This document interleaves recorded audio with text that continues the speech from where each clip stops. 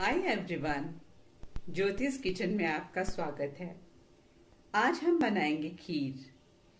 वो भी रबड़ी जैसी गाढ़ी खीर। आजकल सावन का महीना है। खीर ना बने ऐसा हो ही नहीं सकता। तो चलिए इसके लिए हमें क्या क्या चाहिए? ये देखते हैं। अब मैंने थ्री फोर्थ कप जो है वो चावल ले लिए।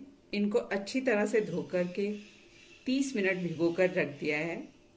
तीन चार इलायची ले ली है, हरी इलायची छोटी, और थोड़े से ड्राई फ्रूट ले है मैंने, बादाम और काजू। आप चाहें तो इसमें पिस्ता या गरी कुछ भी डाल सकते हैं। साथ में मैंने पाँच छः चम्मच ले लिए टीस्पून शुगर के, और थोड़ा सा केसर लिया है, और ये डेढ़ किलो दूध जो है वो मैंने ले लिया है। तो चलिए बनाते हैं इस खीर को। मैंने एक कढ़ाई ले ली है, अब इसमें मैं थोड़ा सा पानी डालूँगी। ताकि इसमें हमारा दूध जो है वो नीचे ना लगे। अब इसमें मैं डालूँगी डेढ़ किलो जो दूध था, उसको इसमें डाल दूँगी। आप चाहें तो डायरेक्ट ही पैकेट वाला दूध डाल सकते हैं।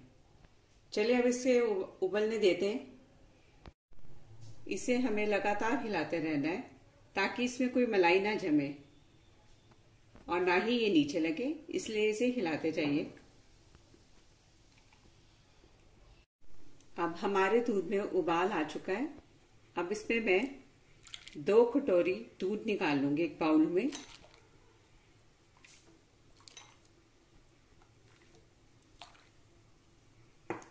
और इसमें मैं केसर मिक्स कर दूँगी। अब इस केसर को मिक्स करके हम थोड़ी देर रख देते हैं और दूध को हम हिलाते रहेंगे।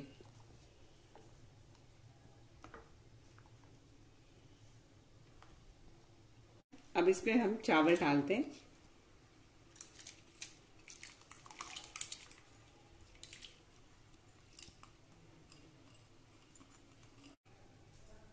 अब इसमें मैंने चावल डाल दिए।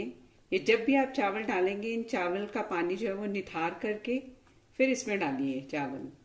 अब देखिए, इसमें चावल जो है, वो पकेंगे थोड़ी देर में दूध में और आप तब तक इसको लगातार हिलाते रहिए। ये देखिए।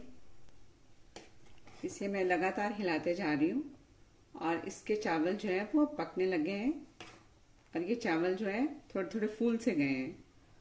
अब इसमें मैं डालूँगी इलायची, जिसे मैंने पीस लिया है और इसके छिलके जो है वो निकाल दिए अब इसे हम लगातार हिलाते रहेंगे और इसमें मलाई नहीं जमने देनी आपने। देखिए, ये चावल और दूध जो है वो अच्छी तरह मिक्स हो चुके हैं। और हमारे इस दूध का कलर भी जो है, वो चेंज हो गया है। अब हम इसमें डालेंगे चीनी।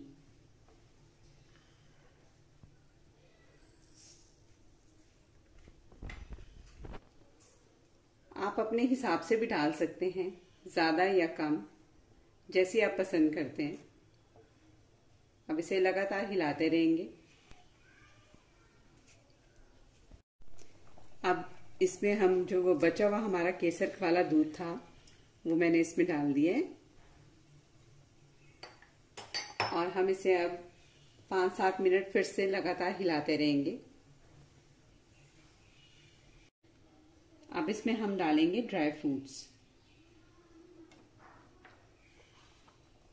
इसे मैंने पहले ही पीस के रख लिया है। आप चाहे तो काट भी सकते हैं। थोड़े से मैंने ड्राई फ्रूट गार्निश करने के लिए रख दिए।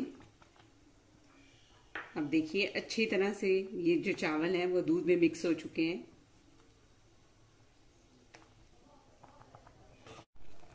ये पूरी तरह रेडी हो गई है। अब हम इसे दूसरे बर्तन में शिफ्ट कर लेते हैं और हम गैस बंद कर देते हैं। हमारी ये खीर जो है, वो बनकर रेडी हो गई है। आप भी बनाइए।